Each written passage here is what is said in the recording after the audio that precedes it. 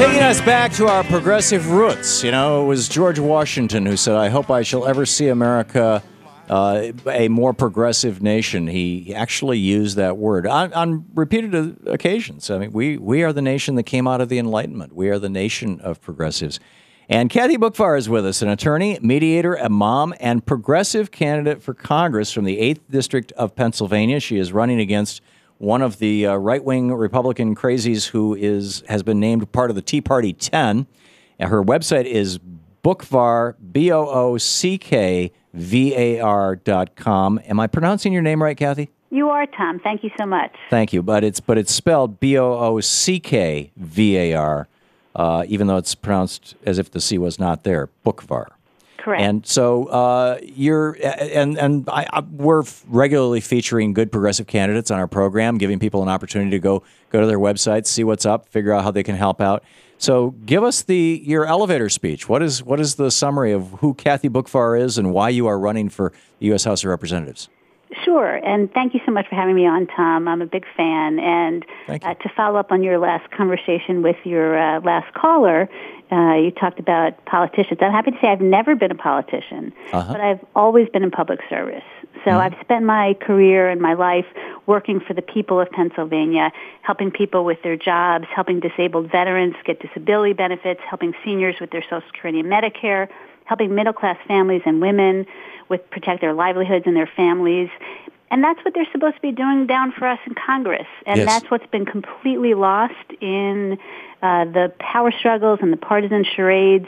I want to bring it back around to us, Thom. I want to bring it back around to the people of Pennsylvania, and that's why I'm running. Yeah, and, and I think that one of the reasons why it's so easy to make cheap shot jokes about politicians is because uh, the, in particular, the Republican Party has just turned – Congress into into a charade. It's it, it's uh, you know Harry Reid had to deal with more than 370 filibusters in the six years this, so far he's been the leader, the, the, Democratic leader of the Senate. In that same six years, the last Democratic leader of the Senate was Lyndon Johnson. In that same six years, Lyndon Johnson dealt with one. Wow. And this wow. Is, this is how crazy it's gotten. And so it is really important, I think, that, that people uh, find out about people like yourself we're talking with Kathy Boockvar, B O O C K V A R dot com is her website, Boockvar dot com. And uh, what do you see as the major issues in the in, in the race here, Kathy? Well, I'm guessing it's very similar to what you've heard uh, across the country. Certainly, the unemployment and you know struggling economy is number one issue. Although I should say, you know, I see the umbrella issue, and frankly, the voters see the umbrella issue as being what we started with talking about, which is the the power struggles overtaking all substantive issues. And so mm. with the Congress not working, you can't even get to jobs. You can't get to Medicare. You can't get to women's issues. But once you get, so my mediator background and, you know, my experience you know, getting people to, you know, I'm used to going into the room with two parties who fully expect not to agree on anything and getting them to focus on producing the solution rather than, you know, just the power struggle. Mm-hmm. But once you get past that, you know, certainly my, my, uh, the, the citizens of my district care about, you know, boosting the economy. There's just so much unemployment from, you know, from every generation. And, you know, the other issues that are probably the biggest issues in my district are the Ryan budget is incredibly unpopular in my district, and my opponent voted for it twice. Um, you know, they want to preserve Social Security and Medicare, not not the people in your district, not Paul Ryan. Oh, exactly. I'm yeah. sorry. my district is very unhappy with the Ryan with the Ryan budget and with Paul Ryan. Right.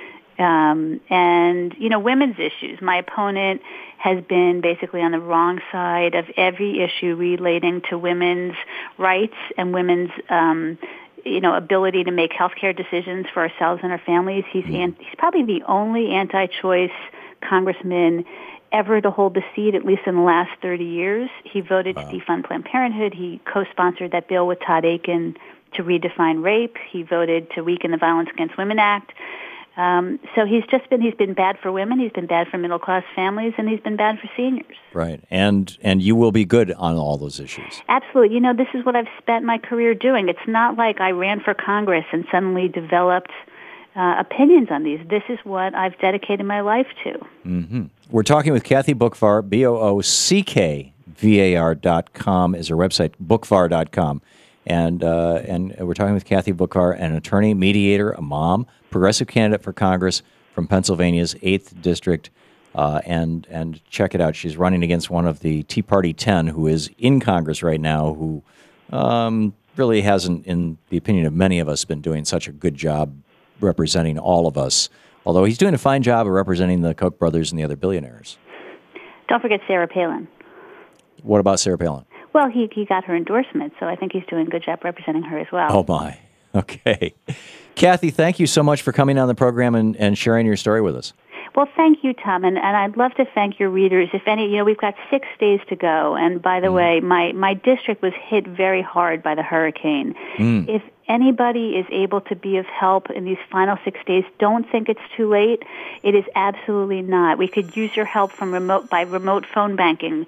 Um, if you're willing to come to the district, we'd love your help with door knocking. And if you're in a position where you can make a financial contribution, I hate the role of money in politics. Um, I was in favor of campaign finance reform before I ever ran for Congress, but I've never been so much in favor of it as I am right now. Yeah. But I can't change it with, until I get there, and every contribution, small and large, is incredibly helpful in that regard. So thank you so much. You're welcome, and people can learn more about it at your website, Boockvar, B O O C K V A R dot com, www.boockvar.com. Kathy, thank you. Thank I wish you, you the very Thom. best. Really appreciate all you do.